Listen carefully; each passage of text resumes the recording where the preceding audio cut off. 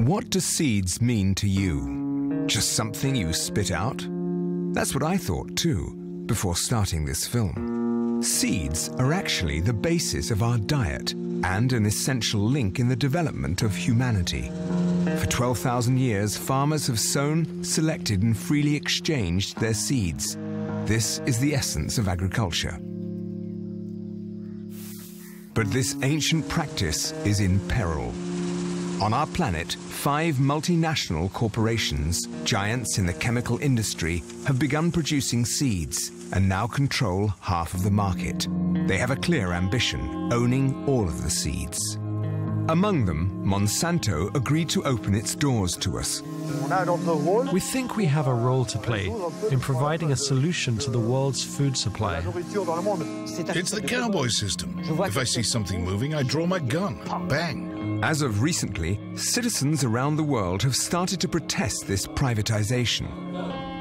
We, responsible and vigilant citizens, demand the immediate end of seed patents because it is unacceptable that private corporations should have a stranglehold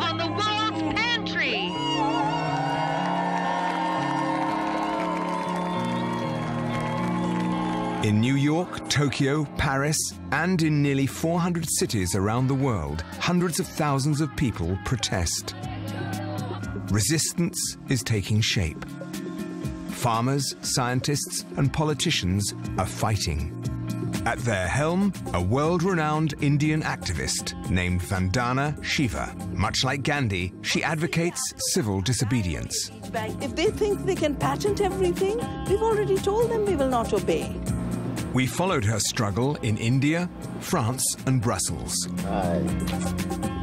It's a choice between abundance and scarcity. It's a choice between war and peace. At stake is our independence from the industrial junk food system. The story we're about to tell you is that of a conflict that may be unknown, but threatens all of us. The Seed War.